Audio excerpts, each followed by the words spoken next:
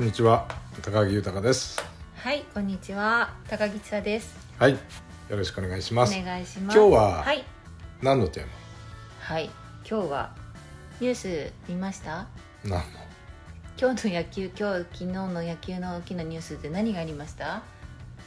まあいろいろまあ選抜とかうん、始まりましたね。は始まったしう、うんーんでもまあプロ野球というふうに特化すれば、はい、まあ鈴木誠也がねやっと決まったというえ、ね、本当にやっと、でも最初はパドレスかなんかでうん、5年80億、なんか誤報でよってご本人が否定されてましたけど、うん。やっぱり誤報でしたね。まあ誤報っていうかさ慌ててたよね。いやこれは全然違う記事なんでってもう別にちゃんとした契約があったからこんな記事が先走ると大変なことになるっていうことだったんでしょうか、まあそうだよね、うん。いやそれでうん5年80億、うん。えすごいなと思ったけどねそのそうそう80億。えすぐ計算ができないけど。うん。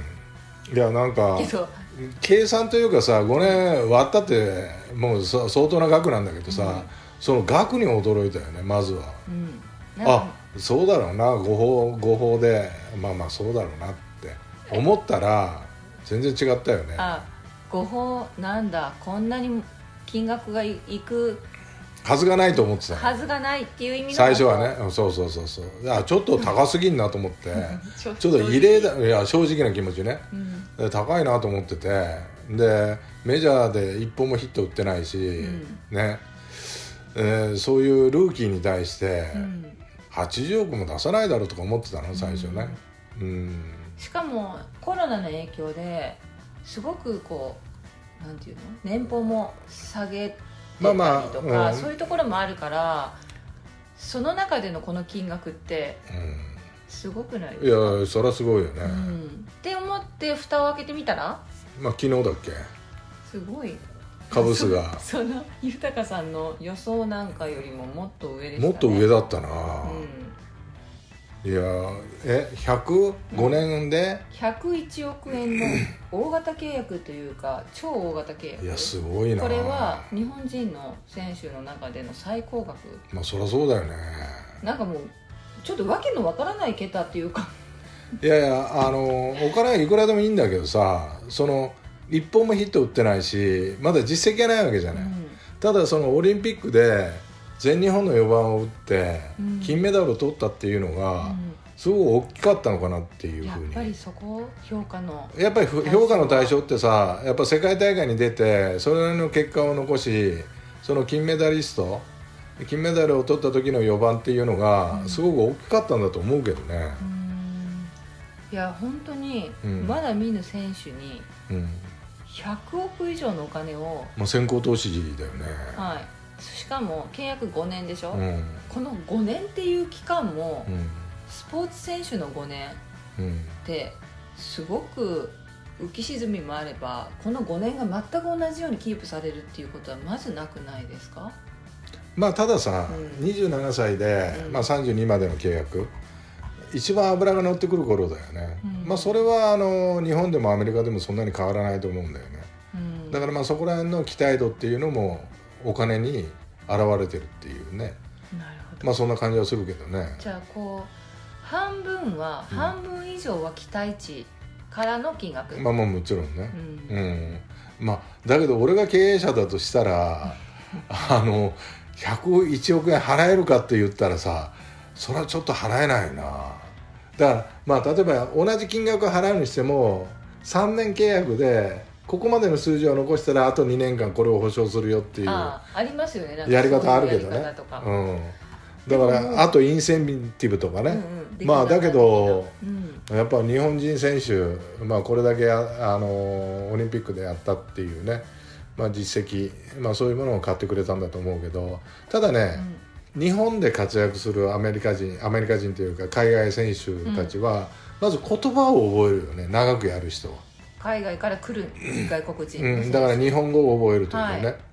もうなんでもかそれがこうなんていうの？すごくファンにとっても印象的だったり。ああまあまあそうだよね、んんだからそのヒーローインタビューとかさ、うんうんうんうん。いろいろなインタビューがあると思うけどそれを英語で受け答えできるっていうのはすごく好感度も上がるしね、うんうん。ただトラウトが好きでね27番にしたみたいだけどトラウトっていうのはさあの大谷とはい。一緒のチームメイトだったね、うん。うんまあスーパースターなんだけどさ、うん。まあ、その選手に憧れて27番をつけた、でなぜ27番をつけたのかって言ったらうん「I love you トラウト」「トラウト I love you」って。これはねなんかちょっとうん。ねね。同性愛者かと思われる可能性もあるよね。なんかもう記事を見る感じでは爆笑だったっていうことにしか書いてないけど、うん、ええと思うよね。インパクトはすごいよね。まあそうだね。なあねまあだけど、まあ、自分が憧れたメジャーでね、うん。えー憧れた選手のと同じ背番号をつけられるというのはさすごく光栄なことだろうしうね、ん。もうなんかインタビューっていうかあの、うん。会見のうん。コメントを聞いていても本当もうワクワク感しか伝わってこないまあそうだね。だからまあすごくいいことですけどね。少年に戻ったような、うん。そんな感覚だろうね、ん。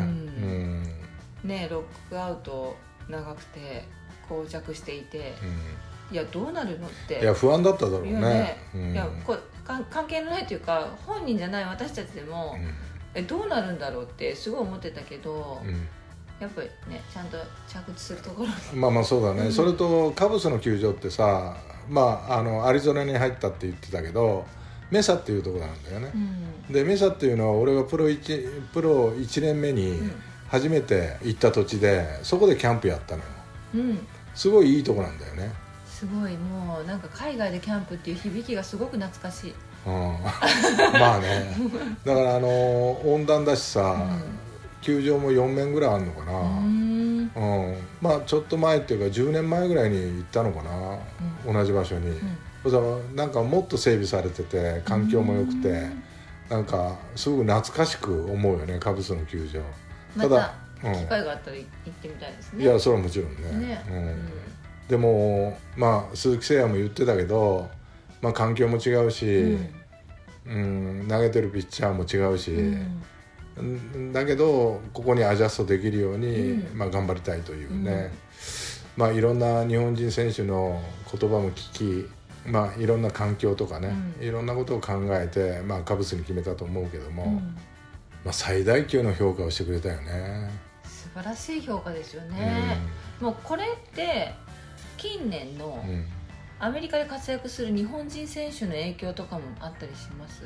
例えば日本人ブランドみたいなのあんまりそういうのはない、まああるっちゃあるよね、まあ、大谷があれだけの活躍をしてくれて、ちょっと沈みかけてたけどね、うん。うんまあ、例えばあの筒香があまり芽が出出なかったりとかね、うん一郎松井っていうのはさ、うん。ある程度残したけうど、んはい。他からこう続いた選手たちっていうのは野手はあまりパッとしなかったよね、うん。で、まあ、昨年筒香が移籍移籍をして、うん。やっと芽が出てきてみたいなちょっと日本人の野手の評価っていうのはちょっと低くなりつつあったんだけど、大谷が二刀流でもう一回価値を上げたというね、全くこう今までとは違った経路っていうか、うん。二刀流でこれだけのうん結果を残す日本人選手って素晴らしいですよね。まあ大谷はね、うん。うん。ただ、まあ、鈴木誠也の場合は外野手で、うん。なバット一本でどれだけの結果を残せるかっていうことだよね。どう思います？うん。日本でのただね鈴木誠也さんのイメージと、守備とね、うん。肩と足。うん。これはね全く問題ない。うんうん。肩も強いし、はい。足も走れ速いしね、うん。走れるし、うん。で守備もうまいし、うん。であとはやっぱり打つことだよね、うん。どのぐらい打てるかどうかだよね、うんまあ彼もアベレージも残せるし、ホームランも打てるという。ね。だからバランスのいいバッターだだけに、うん。ホームランっていうのを追いかけるとやっぱ筒香みたいに苦しむだろうね、うん。うん。筒香もあの率を取りに行ったらさ、うん。結構な率は取れると思うんだけど、うん。やっぱ要求されてる。で自分で打ちたいっていうものがホームランだからで鈴木誠也っていうのはもう弾丸ライナーで入れたいという、うん。まあ筒香とはちょっとタイプは違うけども、はい。うん目指してるところはそんなに変わりはない。うん。だから苦しまなければいいなっていうふうには思うけどね、うん、うん。まあそれはでもあれですか？実際にこうシーズン始まって、うん。実践の中でっていうことですか？まあもう実践しかないよね。